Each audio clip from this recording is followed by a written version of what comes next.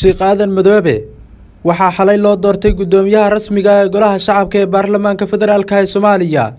Kadib doorashadii ka dhacday xarunta afisyoon ee magaalada muqdisho waxa uu ku dhashay degmada xudur ee gobolka bakool bishii abriil sannadkii kun sagaal boqol konton iyo lixdii waxa uu ku takhasusay culumta shareecada waana waayo arag inta badan u soo joogay geedi socodka dalka taasi oo sabab u noqotay in xalay uu ka guulaysto xildhibaano badan oo qaarkood ay yihiin dhallinyaro. Sheekh aadan madoobe sannadihii kun sagaal boqol sagaashan iyo lixdii ilaa kun sagaal boqol sagaashan iyo shantii waxa uu soo noqday guddoomiyaha degmada xudur ee gobolka bakool kun sagaal boqol sagaashan iyo lixdii waxa uu ka mid ahaa odayaashii ka qayb qaatay dowlad dhiska soomaaliya isagoona qayb libaaxla ka qaatay. Hannaanka beeleed ee soomaalidu haatan wax ku qaybsato ee loo yaqaano afar dhibic shanta waxa uu soo noqday wasiirka cadaaladda iyo garsoorka ee soomaaliya. Sidoo kalena xildhibaan ka tirsan baarlamaanka federaalka ee soomaaliya soddon iyo kowdii janawari sannadkii laba kun iyo toddobadii waxaa loo doortay guddoomiyaha golaha shacabka ee baarlamaanka soomaaliya.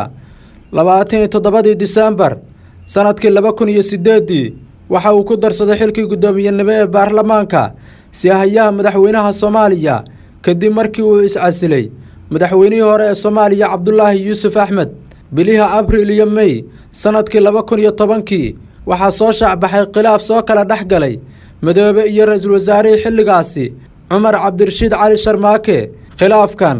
ayaa ugu dambayntii keenay in madoobe uu iscasilo kadib markii baarlamaanku uu u codeeyey in xilka laga qaado iyadoona xilkaasi loo magacaabay shan iyo labaatankii mey sannadkii laba kun iyo tobankii shariif xasan sheekh aadan janawari laba kun iyo afar iyo tobankii waxaa loo magacaabay wasiirka warshadaha iyo ganacsiga oo xilligaasi uu magacaabay ra'iisul wasaarihii wakhtigaasi cabdiweli sheekh axmed. Sheekh aadan madoobe waxa uu dhinaca kale ka tirsanaa mucaaradka sida falanqeeyaashu ay sheegeenna taasi ayaa u sahashay in mucaaradkii oo dhammi ay u wada tanaasulaan si uu codad badan u helo islamarkaasina ugu guulaysto xilka guddoomiyenimo ee baarlamaanka federaalka ee soomaaliya madax kala duwan iyo mucaaradka ayaa hambalyo u diray guddoomiyaha cusub ee golaha shacabka ee baarlamaanka soomaaliya. Doorashadan ayaa ka dhigan in muddo xaalka madaxtinimo ee soomaaliya ay ahayd mid hubante la'aana islamarkaasina uu dalku ku jiray xaalado adag oo siyaasadeed balse xalay ayuu ka baxay arrimahaasi oo dhan. Axmed maxamed xuseen c b a muqdisho